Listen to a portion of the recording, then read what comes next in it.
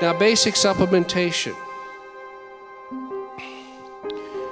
We have what I fondly call the big four.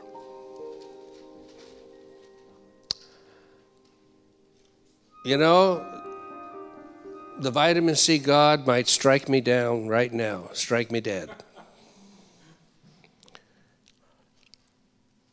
But magnesium is the most important thing for you to take in large amounts on a regular basis. Why? Because nothing can substitute for magnesium. If you're low on magnesium, nothing else fills the bill. Now, what does magnesium do?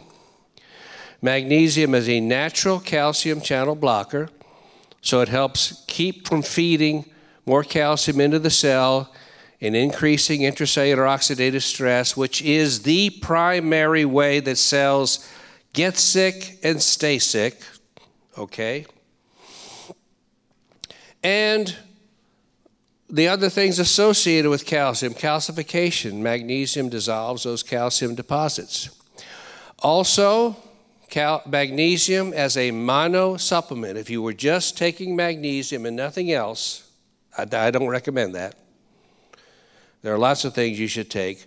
But as a mono supplement, it decreases all cause mortality. It decreases your chance of death from everything. Now, how can something decrease your chance of death by everything, from everything? Because it positively impacts every cell of your body. Otherwise, it couldn't positive, it couldn't save you from lupus just as readily as it would save you from heart disease or cancer or stroke or you name it.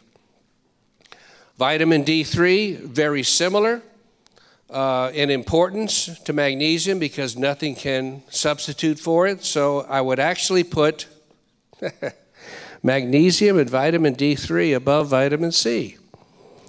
Vitamin C we all pretty much know, at least in this room, what vitamin C does for you.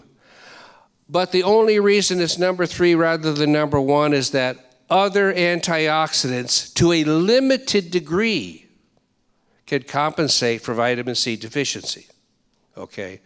Obviously, you want all of these, but I'm just trying to give you a little ranking, if you will. And then vitamin K, K2, which helps mobilize calcium Think about this each one of these one, two, three, and four individually and independently decrease your chances of dying from any disease. So they all positively impact all of your cells. Lysine and proline, uh, that's something that Rath and Pauling put together, and I think the evidence is very strong since cardiovascular disease is such, still remains such a big killer that it's good to include these in a basic regimen that allows you to either keep plaques from building up or help mobilize pre existing plaques.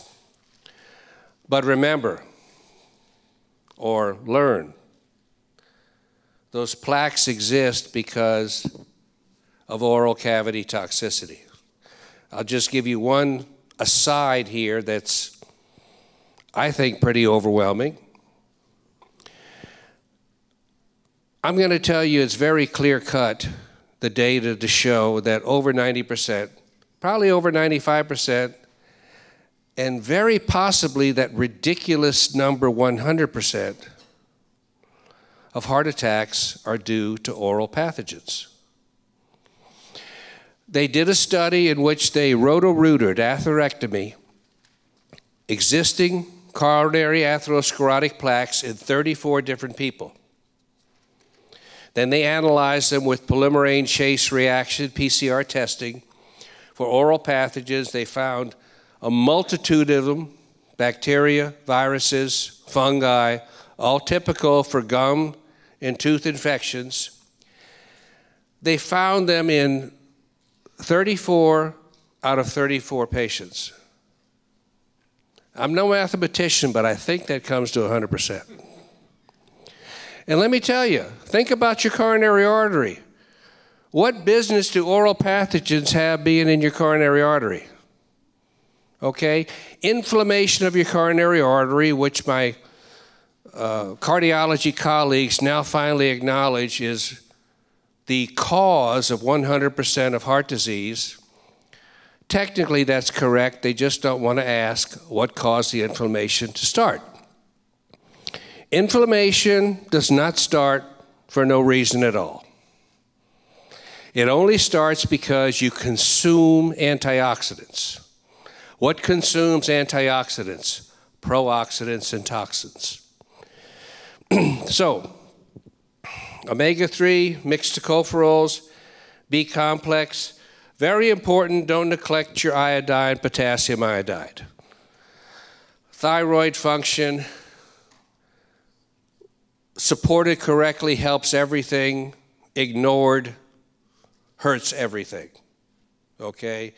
If you leave yourself minimally hypothyroid, you will undermine the effectiveness of all I'm saying enormously. Okay. No, you took five away from me. Don't give me that. How about this? Okay. so, there's no fixed optimal supplementation protocol. I give you what I consider to be the basic foundational supplements. And I got to tell you, there's a ton of great supplements out there, but there's only so many things you can put in your stomach. And for most people, there's only so much you can afford. So, and everybody has a little bit of a different need. Okay?